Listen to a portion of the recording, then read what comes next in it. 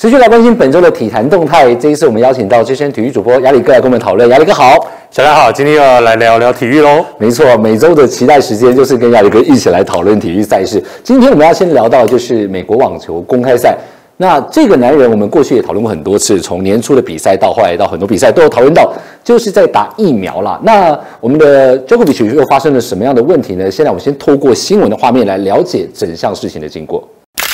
塞尔维亚网球名将乔科维奇在个人推特发文，说自己无法前往纽约参加美网，让大批球迷又再次期待落空。The news was not really that much of a surprise. Djokovic is still choosing not to be vaccinated against the COVID-19 virus, meaning that he's unable to enter the United States. 乔帅坚持不打疫苗，不仅让他重要赛事无法出席，积分将无法进账。目前世界排名第六的他，排名可能继续下滑。此外，因为乔科维奇的生涯大满贯冠军只有二十一座，还落后纳达尔一场大赛冠军，也等同无缘在今年内追平劲敌。This year he was deported from Melbourne ahead of the Australian Open for the same reason, meaning he's only been able to play in two of the four majors this year. Vamos de novo, martelo, vingativa. 只是虽然缺席美网，乔帅的生活过得多彩多姿，不仅持续精进球技，分享练球影片，还有模有样练起拳击。外界也关注当前各。各国的防疫政策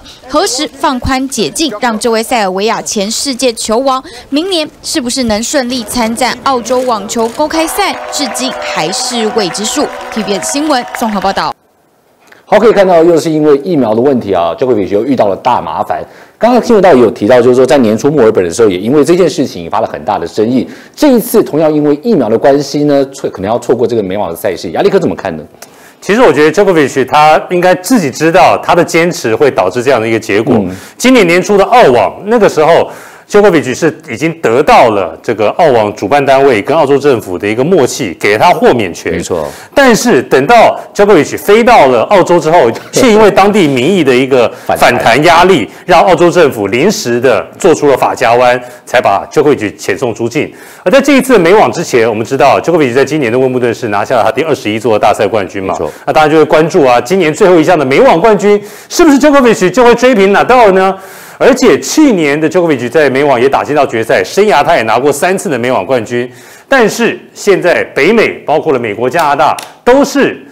只要是外国人的话，你一定要打疫苗才能够入境。没错。那 Djokovic 他有他自己的坚持，他说不愿意打疫苗，不愿意他不明朗的东西打进他身体之内。我觉得他这是他个人的原则问题。他今天他已经知道会有这样的一个后果，所以他也在就是美网开打之前，特别在社群软体上面跟大家讲，就是说跟球迷。支持他球迷说抱歉了，这次美网我没有办法参加。没错，其实可以看过去，包含是很多人都有评论过这件事情，包含像 Rafael 拿到也有讲过嘛，就是呃要不要打疫苗是个人的意愿，但是会不会影响后面的赛事，那就是后面的看法。当然现在美网受到影响，包含现在你看到连那个我们的过去的那个教头就有说到，他认为这是一个不公平，而且是一个笑话一桩，见仁见智啦，因为打不打疫苗是一回事，但是。各国有各国他对于运动员这个参赛的标准，这就是看这个运动员后续要不要负这样的一个责任跟负担了。对，我觉得这个是个人的立场问题啊。我觉得少了 Djokovic 今年的美网，可能在单打方面精彩度一定会少那么一点点，因为毕竟他是过去美网的三届冠军，也是二十一座大满贯赛冠军的一个得主。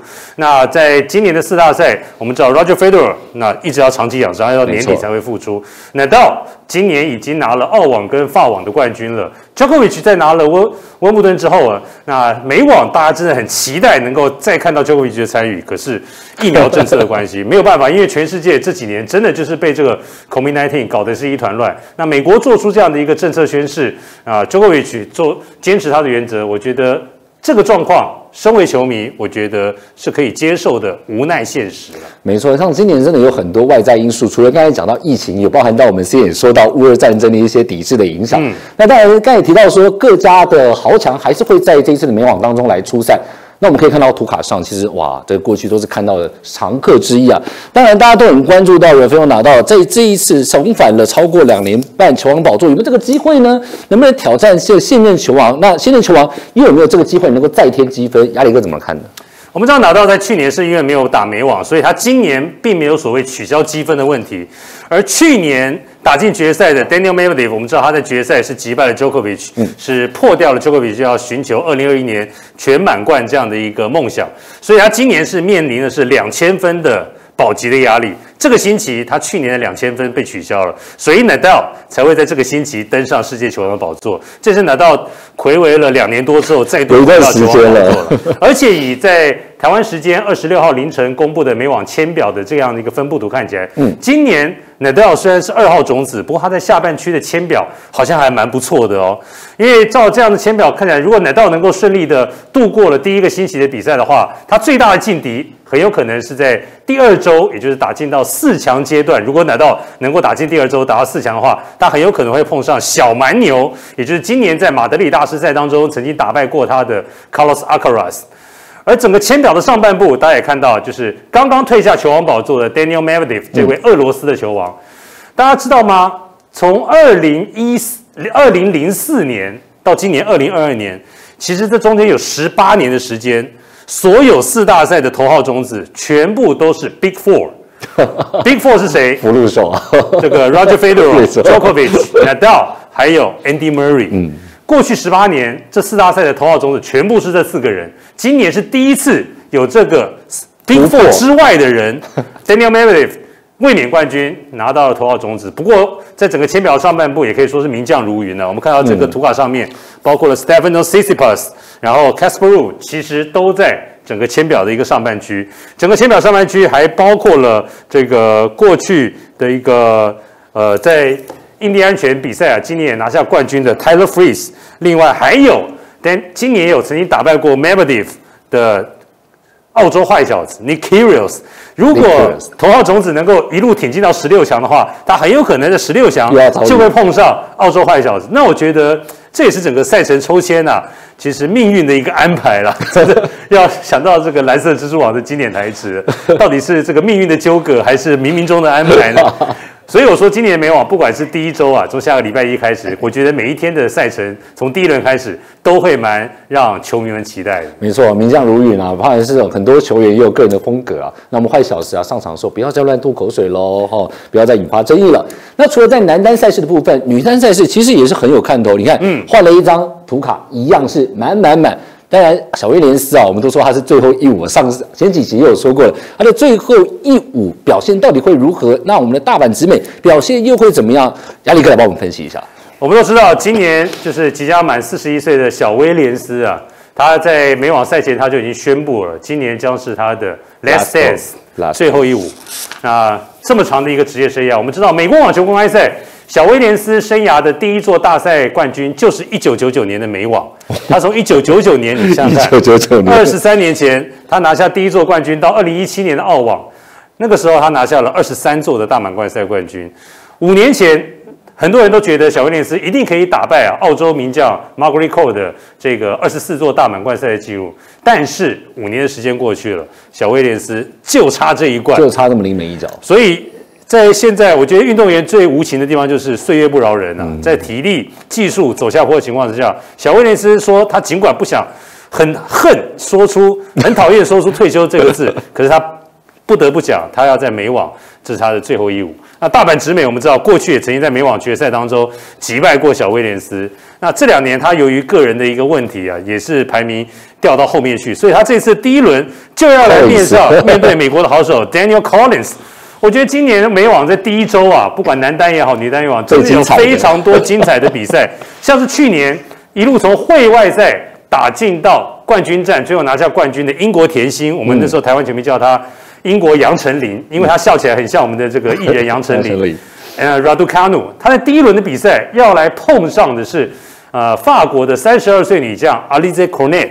Cornet 是谁？Cornet 是在今年中断了波兰球后 Iga Swiatek 三十七连胜的那位法国女将，在今年的温网，她也杀进到了十六强。所以在今年女单呐、啊，尽管最近的一些新闻就是除了赛程之外，也有质疑到男女用球嗯重量不一样。不过今年的在所有选手啊几乎都到齐的情况之下，我觉得今年的赛程在今天的签表出现之后，今年美网真的，我个人预测是非常非常好看。第一周的赛事就是这么下猛药，相当的精彩。那就看看，就是不管像是老将还是他后起之后，能不能在美网有精彩的表现。那镜头我们转到 NBA 的赛场来看到，哦，随着这个脚步慢慢的推进啊，马上的季前赛就要开打。但在这之前呢，我们先来搞定一下篮网人生哈。目前最新的消息，我们可以看我们蔡老板。好，愿意跟我们的两大球星好好来谈了。先来看到就是呃，据说啦，KD 跟老板蔡崇信还有 Nash 见面之后，他们决定都退一步，因为 Nash 还有就是像 KD 他也知道说现在他是有行无市，怎么说呢？年纪的问题加上开要所求的这样的一个选秀权跟球员，没有球队愿意去接手，并且是说他也有行无市。那蔡老板也知道现在他骑虎难下，所以目前最新的消息，KD 还有 Irving。会都会留下来，包含像去年一整季没有开打的、没有打球的 Simmons 也都会投入篮网的赛事了。那当然，KD 我们最近这几个礼拜都不断的讨论到他这个就像是好像当初王力宏这雷神之锤的这肥皂 肥皂剧啊。他说 Trade me 交易我，一开始先说他想要去太阳，想要去热火，到最后退而求其次说我去塞尔提克好不好？嗯，我去这个其他的地方啊，结果都没有办法，因为没有一支球队能够出得起。篮网所要的一个价码，没错，他剩下来跟篮网的合约每年都是超过四千四百万美金这样的一个顶薪呢，加上他的年纪其实也三十几了，嗯，那过去有伤病阿基里斯腱断裂这样的记录，其实我觉得真呃很多球团其实都对交易 KD 啊是有所谓保留的态度。那就像小兰讲的，那到目前为止的一个最新消息，KD 跟 Kyrie Irving 那现在确定要留下来，加上去年一整年没有出赛的 Ben Simmons。啊，Ben Simmons，那篮网要到底要怎么用他呢？因为我们知道 Ben Simmons 过去是在费城七六人队，那个七六人队是有九个 MB，嗯，有个大中锋在那边扛着，所以六尺十一寸的 Ben Simmons，他可以可内可外，他的空间很大。可是现在他来到篮网之后，篮网这个组成其实基本上就像是西区的这个金州勇士一样，而且总教练 Steve Nash 基本上他们就是打挡拆、打小球、打外线。这两天最新的消息说，有人建议是不是要让 Ben Simmons 去打中锋，打到中锋去，对不对？打向勇士队的，像内区相城这样，对不对？像没有打向那个勇士队 Draymond Green 那样的一个角色，打到中锋去。对，那他在东区，哎，你想想看，他如果打中锋，遇上昔日七六人队老队友 MB 的时候，那是不是被 MB 定假的？我觉得 Simmons 在最大关键球迷也是很好奇，就是说今年啊外物太多了，篮子也没练出来。不过就像杨力哥所说的。像他们球队太多人会投外线了啦，但是如果像这个 Simmons，如果外线如果不能再长出来的话，恐怕天花板呢就是长在那一边了。而且最近这个好像我们之前不是有讨论过很多老将，包括 Dwight Howard，包括 Carmelo Anthony，到现在为止还没有找到新新的老板。没错。哎，最近有消息说篮网是不是要把 Carmelo Anthony 填瓜？虽然已经三十八岁了，但是 Anthony 上个赛季在湖人队平均每场比赛可以拿下十三点五分，而且拉下超过四点二个篮板。我觉得他的一个加入，因为去年的这个篮网，我们知道有 Lamarcus Aldridge，嗯，还有扣篮哥，嗯，可是好像今年赛季都离队了，没错。那如果这个时候能够把甜瓜补进来，我觉得这个家有一老如有一宝啊，那说不定会替篮网队带来不一样的一个化学效应。哦，希望能够镇得住这一些球星们的脾气啦，不然这个气氛这样下去也不是个办法。嗯，那当然现在看到就是在 LeBron James 这一边消息话题也是很多，那现在就看到他的儿子啊。王的儿子，王的儿子来了。我们过去有提到，现在呢长到六尺三寸了，而且现在哦，不只是很多 NBA 已经提早锁定，现阶段呢，包含很多大学，看到都是 NCAA 的名校啊，包含像 UCLA 啦，还有像是南加大啦、密西根州大，都想要寄出奖学金来招募我们的王的儿子。那其实呃，可以看到老邦爵士过去他的吸引力非常的大，就连他的小朋友也都是兵家必争之地。当然，我们说到了这个 Bronny James，他现在才十七岁，才高二，就是说他还要有一年才能够再念大学。不过最近却传出了，我们知道 NCAA 就是美国大学男篮，他们总共分为三级：Division One、Division Two 跟 Division Three。Division One 这一级学校就超过了三百四十间，没错。那这些在图卡上面呢，都是在一级的一个名校哦。那 LeBron James 那。在现在，他的一个最大希望，我们之前不讲过，就希望看跟湖人这两年的合约走下去，那最后看看能不能跟儿子同队来打看看。因为到今年，我们知道在这一段休赛季期间，其实 NBA 发生了非常非常多的事情。嗯，除了刚才我们讲到的 KD 的这个交易我的这个肥皂剧之外，其实，在湖人队这边，你知道吗？现在的湖人队总教练换了，而且他们二零二零年那个时候在泡泡拿下 NBA 总冠军的冠军队成员，现在也只剩下 LeBron James 跟 Anthony Davis 这两个人而已了。而且现在可以看到，就是说，其实像最近的新闻也是把那个过去跟威少不合的 Beverly 对回来了，这是把拉了一个火药库进来啊！所以 Patrick Beverly 过去是跟可以说是对头啊，说 Westbrook 是水火不容的，一个说一个是得分都是只只会秀，一个说这个我去守他的话，他绝对是得不了半分。哇，这两个人现在竟然是同队，而且可能那个。两个人都会抢着当领袖，哦没错。我觉得这个状况，这个倒是好，可以好好来观察一下。不过贝贝尔过去的世界大家都知道了，疯狗贝嘛，这也是呃有时候可能嘴炮一下下。回到球场上呢，当然是要 focus 在焦点上面。不过这个还重点来了，最近啊就可以看到这个我们雷霆的选秀榜眼在参加业余比赛的时候，防守老帮 James 哇，错赛了，这样脚整个受伤。目前呢，推估整季报销，雷霆真的是吃亏了。对，整季报销，那真的是一个非常重要的消息。我们知道，在前一阵子，我们讲过 NBA 的今年的选秀，他们呃，奥克拉荷马雷霆队在第二轮呃第一轮的第二顺位，也就是榜眼这个位置，选了这位七尺的常人 Home Green。Home Green 身高超过七尺，但是他体重很太瘦了，不到一百公斤。所以，如果大家有看这场在西雅图的热身赛的话，大家应该知道那。勒布朗詹姆斯是拿到球自己这个一条龙打到前场，那红木格林在守他的情况之下，那个时候就看他一拐一拐的走出来，那时候好像觉得好像只是扭了一下，结果没有想到事后那么严重，竟然是韧带撕裂伤的一个整季报销，而且那场比赛只打了一节，就因为场地湿滑的关系啊，说为了顾及球员的安全不要比赛，所以我觉得红木哥受伤是不是要跟主办单位来求偿啊？是不是要有保险啊？因为哇，好不容易。战绩低迷的雷霆队选到了一个榜眼这样的一个七尺长人作为球队重建的一个基石，但是一场季前的热身赛还是表演赛哦，都没打，就就受伤了。那现在怎么办？而且现在可以看到，当然了，这个后续啊，受伤之后呢，慢慢的去调养，以后加入联盟的话，肌肉量也是得练出来。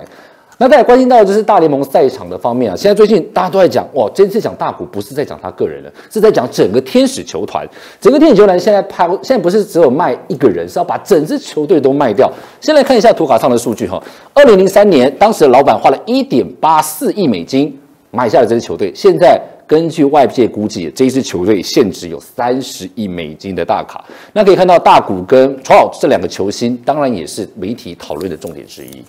那当年天使球团提供给 Mac Trout，也就是天使队当家球星鳟鱼啊，这一份超过十二年，也可以说是当今最大的这一个合约啊，一直到现在还算是前三大的这样的一个大合约。嗯，那也使得那虽然大股现在还剩下一年啊，不过。不管天使会不会卖大股，我觉得天大股强平要留在天使，其实是难度非常高的一件事。刚才小兰讲到了，现在天使队的老板就是现在画面上大家看到左上角戴着墨镜的这位，他的名字叫做 Moreno。Moreno 是大联盟第一位呃美籍墨西哥裔的这个球队老板。他当年你看花了不到两亿美金，但是现在富比士帮天使的估价就是超过二十亿美金。嗯，那市场的一个炒作，依照前两年纽约大都会的一个交易的一个价格，那有可能就像小兰刚刚讲的，可能会炒到三十亿美金，比起当年的不到两亿美金，可能足足是十五倍。通膨也通的太厉害了，哦，那真的是赚翻了。所以投资大联盟球队，只能说真的是一个好生意。不过不管怎么样了，我觉得以亚洲人的角度来看，我们希望大谷翔平这样的一个二刀流不世出的奇才，没错，不管他会不会留在天使队，我们都希望能够看到他是是一个呃很不错的一个很好的一个棒球的生涯。没错啊，可以看到在交易掉了 Joe Maddon 之后呢，天使队打越打越烂了，现在当然就已经退退出了这个季后赛行列。接下来呢，也希望呢，未来整个球队能够有一个好的去向，我们会持续的来锁定。那接下来了解到，就是过去也曾经待过天使，那我们在红雀的强打者，也就是 Albert Pujols，六百九十三号全垒打扛出来了，而且最近有老来俏哦，让老公公老马是让搏头刀哈。来看到啊，八月二十三号 六九三六九三敲出来之后啊，九十三英里声卡就猫的一声就猫出去了。这是目前从第四百四十九位投手开轰，跟 Barry Bonds 并列 MLB 第一名，而且可以看到四十二岁的 Pujols 现在非常有机会来挑战退休前的七百轰。当然，我们知道在大联盟历史上，之前只有三个人能够完成生涯超过七百支全垒打，分别是上古神兽贝比鲁斯，还有这个 Barry Bonds，还有就是汉克阿伦啊，就这三个人而已。那过去洋基队的 A-Rod，我们讲说 Alex Rodriguez 曾经有机会，但是他在洋基队被退休，所以差七百轰，差一点点而已。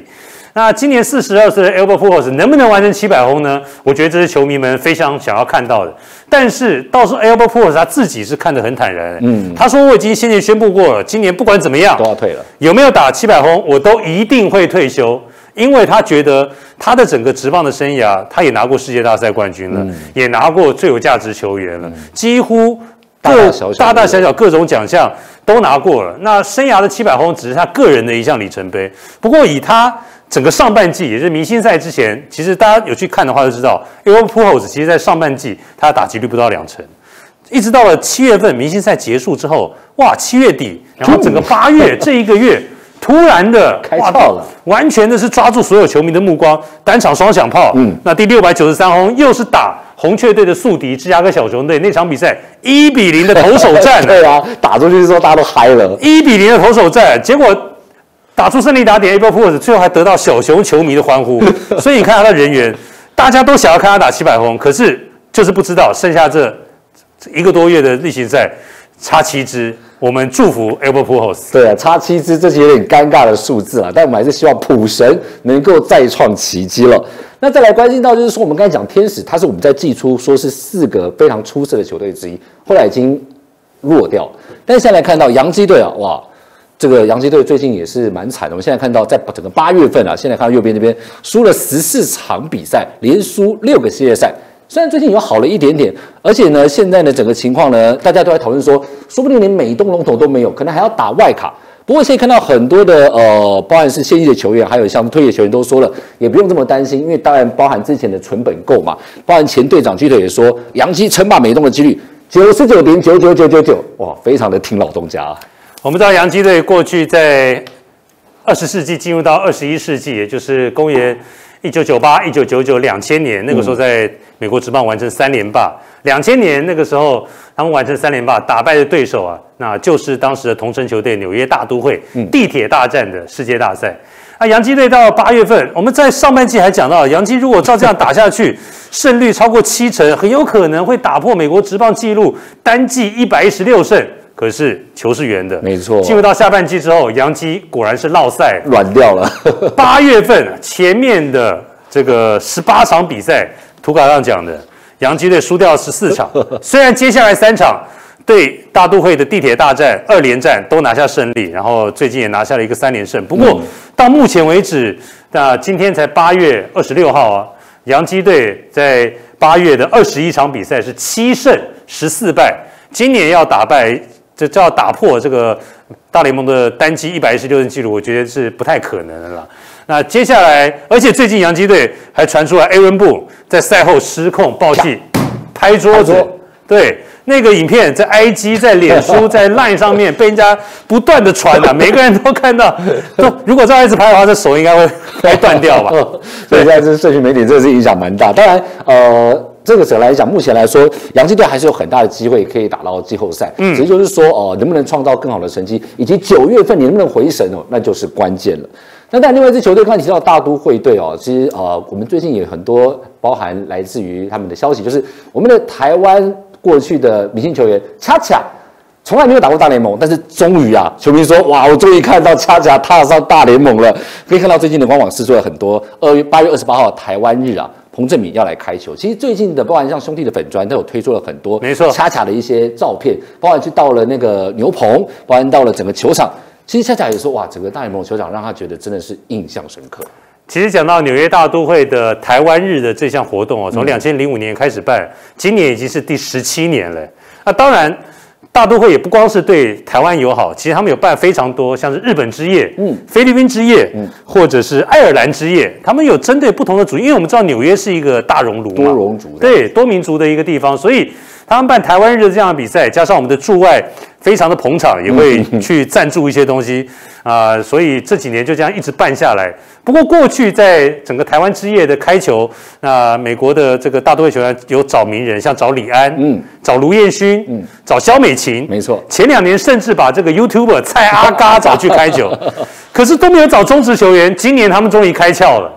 找了彭振明，我们的台湾队长。要知道，恰恰不仅是这个兄弟队的一个人气球星，过去在经典赛也是我们中华队的队长。那这一次是第一次在台湾之夜这项活动上有球员退休的人去现场开球。那当然，今年我们知道，在威廉波特，我们的福林国脚少棒队现在还在威廉波特要为这种我们久已经很久没有拿到的这世界冠军来努力。恰恰这一次也有去威廉波特替小球员加油。然后在美国时间八月二十八号的台湾之夜的活动，哇，听说今年票是嗯，卖的很好、啊。最近这几年卖的很好的，因为去年他们所谓的这个台湾 Number One 这个这个大都会色系背后是一号的这个球衣，去年是定做了两千三百五十件，嗯，象征我们台湾是两千三百五十万人。今年加码，今年做了三千件，可是听说都卖光了，所以诶大都会这个台湾之夜活动相当成功。没错，彭正明不愧是吸票机，中职吸票，大联盟也吸票。刚才亚里哥所说到，这个是创下了近十年来主题日的购票记录。那我们也期待二十八号彭振明带给我们的最新的大联盟旋风。那我们接下来关心到就是在羽球的赛事啦，这个羽球世锦赛的部分，可以看到戴资颖三十二强在八月二十四号赢在了雷皮斯卡，呃，半小时就晋级到十六强了，轻轻松松。二十五号这一天呢，对上了武士庄，也是晋级到了八强。出战的是泰国的布沙南，生涯十四次，小戴就赢了十一场。过去呢，交手记录是非常的优秀。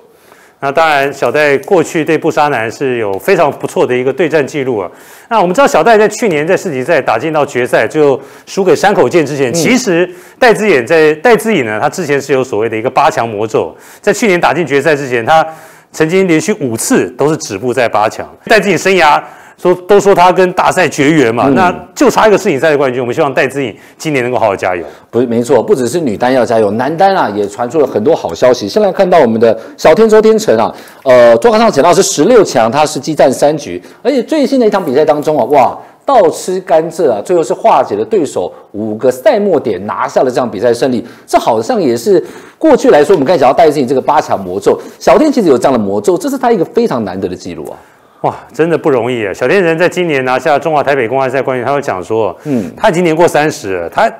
以前绝对想不到他能够在这个年纪还可以维持体力跟技术上这样的这样的一个巅峰。嗯，我们知道世锦赛今年在东京举行，世锦赛是最高水准球员聚集的这项赛事，当然积分等级也是最高最高的那小天在这个前一场比赛面对香港的李卓耀，那三局大战获胜之后，生涯第五次打进到了八强。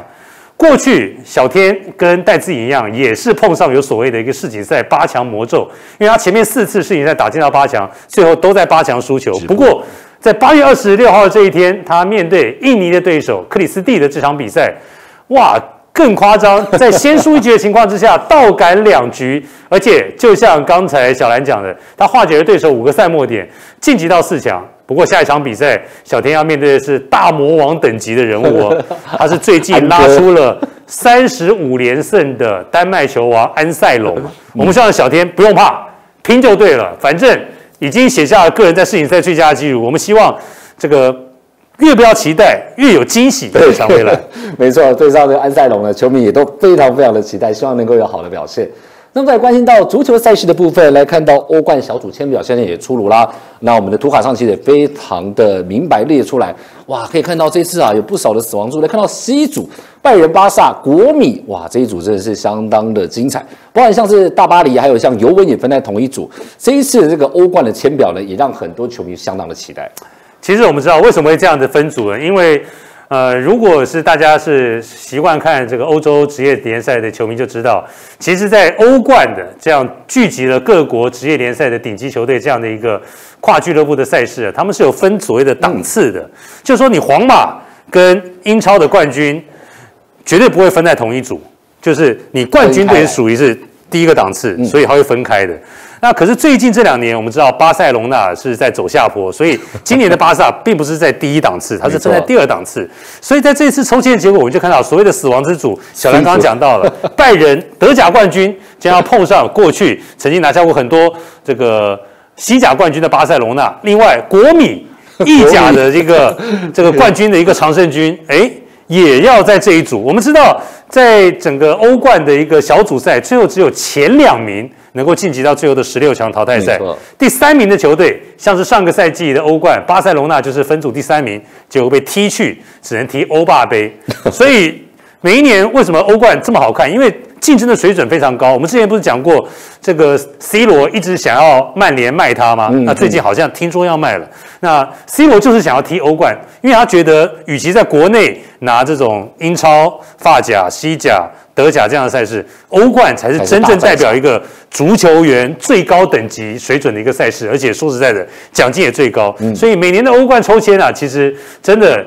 内行的足球迷都会来看，到底哪一组才是死亡之组。要不然讲到尤文图斯跟 PSG、巴黎圣日耳曼，还有葡萄牙的豪门本菲卡在 H 组。其实这也算是一个半死亡之组啊！半死亡之组。那其实看到足球真的是非常迷人的运动。那当然说，我们看到呃整个欧冠啊是非常重要期待，世界杯呢也是大家在今年非常期待了。我们可以看到这次卡达世界杯也即将登场了，包括像是很多这个呃细节，我们上周就已经讲过了。那这一次最重要就是最新的消息，两百四十五万张票已经卖出去了，果然是全场全球瞩目的焦点。我们知道这一次卡达它是预估啦，在十一月份十一月二十号开始的世界杯期间。卡达会会入境的，光是看世界杯人数会超过一百五十万人。嗯嗯嗯。那一百五十万人不可能只看一场啊。没错。那一个人可能买个两三张票，所以现在光现在预售票已经卖出了两百四十五万张了。那当然，卡达国内为了预防这个世界杯期间可能的犯罪，你知道大家看球都会喜欢喝啤酒啊，打架，然后或者是英国我们讲说以前足球流氓或怎么样。所以听说哦，这次的卡达他们在国内。装了超多的闭路监视器，也就是我们讲说这种道路上，我们常常讲说这个道路上，哎，你这闭路监视器我拍到，我们拿来做新闻的这些画面，这是真的蛮好玩的。那那也看到我们所谓的非法病毒，因为在今年因为年底才踢世界杯的关系啊，所以在各州的职业联赛，尤其是欧洲的五大职业联赛，他们都要等到月初才会停止比赛来配合世界杯。那短短的一个礼拜，你要球员从原本，譬如说他英国踢球也好，他要坐飞机坐到卡达去，那克服这个时差，然后再调整自己的体力，FIFA 世界杯国际赛所谓的病毒，就是你能不能把。在这么短的时间当中，把自己的状况从原本你踢职业联赛，然后调整到你能够替你的国家来出赛，这就是所谓非法病毒的一个讲法。没错，那当然也要每年每次我们来聊到，就是说有关于世界杯的分组。接下来看到这两张图卡呢，我们就是来介绍这两支。但第一个就是我们在看到的就是。美国的科学化训练呢？但其实美国在各项运动都很强，但过去在世界杯表现却没有这么的出色。那另外呢，可以看到这一次我们讲的波斯铁骑，也就是伊朗大军啦。那过去呢表现在世界杯也是我们说的普普通通。这两支球队在 B 组的表现，未来也是球迷可以慢慢来观察的一个焦点。我们看到这张图卡，就是美国在第一届世界杯其实它是季军呢，嗯，不过第一届世界杯他们可以说是已经是他们到目前为止他们的最高峰了。一九三零年，对，其实，在中间有很长的一段时间啊，美国是都没有踢会内赛的哦。那一直到了这个干旱期度过了以后，一九九零年的。意大利的世界杯，美国才重新的那回到了这个世界杯的比赛。为什么？因为我觉得台湾其实跟美国很像，台湾其实足球人口呃也并没有那么的多。了，就是虽然有有一定的基础，但是我们的口味跟美国人一样，美国人喜欢冲撞，篮球、美式足球 或者这种棒球有全力打那种那种感觉，那种激动。对。那可是足球有时候九十分钟踢完，嗯，你可能是零比零，没错，可能是一比零，是那种小比分的比赛，所以美国比较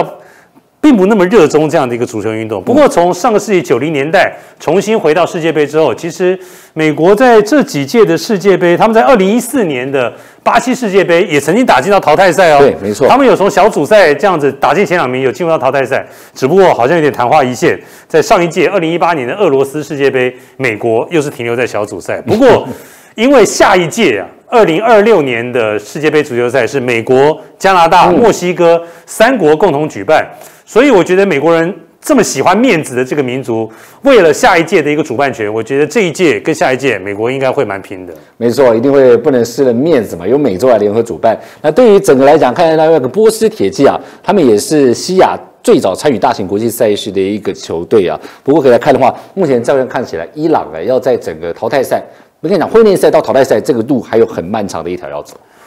伊朗在我们亚洲算是一级的一个强队了。那过去这几届的世界杯，他们也都能够打进到会内赛。其实最早在两千零二年，二十年前，日本跟南韩共同举办的世界杯，那个时候其实这个伊朗就差一点点，他们是在附加赛当中输给爱尔兰，所以差差一点点没有能够打进到会内赛。不过这几年他们都能够保持蛮稳定的一个水准。其实伊朗的足球一直是有他们传统的实力在。图稿上面讲的，上个世纪六零年代到一九七六年的亚洲杯，他们曾经连续三届是亚洲杯的冠军。不过从一九七九年，也就是那个时候的何梅尼伊朗人质事件，也就是我们看好莱坞电影《雨果》对雨果出任务的那个历史事件之后，他们曾经足球沉寂了一段时间，一直到两千年左右。也就是刚才我讲到两千零二年的日韩世界杯，才慢慢的又调整回来。嗯，那当然他们在亚洲算是一级的劲旅。那上一届的俄罗斯世界杯，他们在分组赛当中虽然没有出现拿下一二名，不过伊朗那在那一组当中跟葡萄牙、西班牙同一组哦，他们也跟葡萄牙 C 罗的葡萄牙踢成了平手哎，而且他们还击败了摩洛哥，拿下了分组的一个胜利。所以伊朗。在整个这一次的卡达世界杯分组 B 组来说，其实说不定也有爆冷的一个机会。没错，伊朗就是过去在很多赛事项目都是西亚的第一强权。我们也持续的锁定世界杯的最新动态，每周都会有各组的分析。今天谢谢亚里哥的分析，谢谢小兰，谢谢大家。我们下周同一时间再会喽。请支持专门报道国际新闻的全新 YouTube 频道 TVBS 国际 Plus，扩大视野，掌握趋势。邀请您订阅并且开启通知小铃铛。